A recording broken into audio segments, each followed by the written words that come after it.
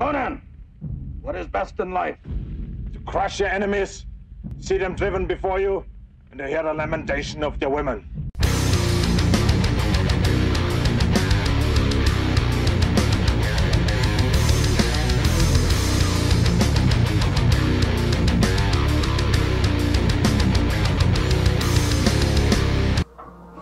What's up, YouTube?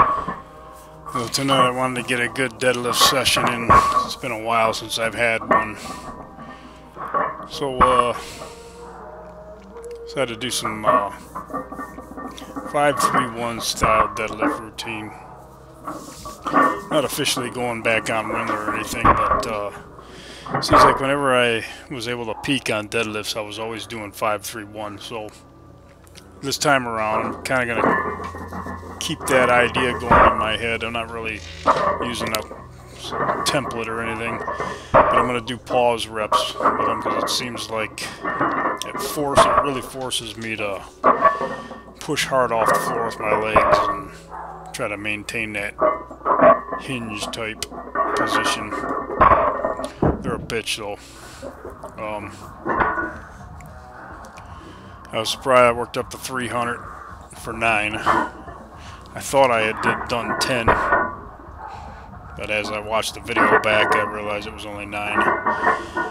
Because that belt was really cutting my breathing off hard, so I ended up taking it off after the fifth rep, or after the fourth rep.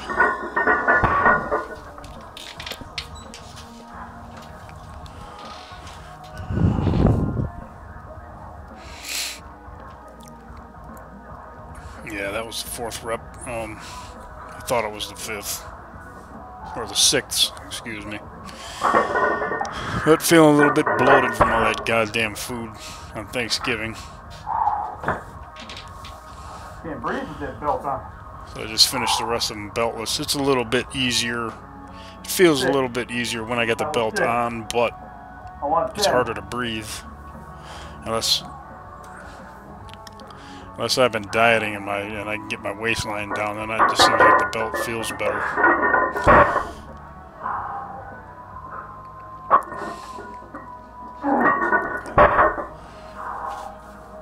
I have a skinnier bodybuilder belt I used to use when deadlifting, but uh, just had another YouTuber hook me up with this with this belt.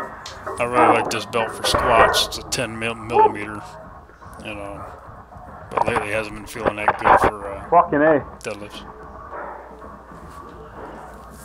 It's a little harder without the belt, but it's more comfortable.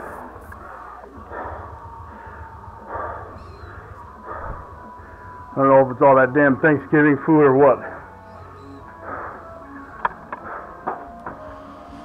And I just finished up with some uh, hanging leg raises, five sets of 10.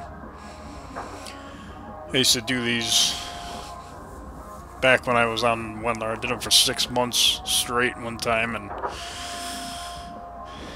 I got to where I could pretty much touch my toes all the way up to the top of that squat rack pretty easily. So, thanks for watching.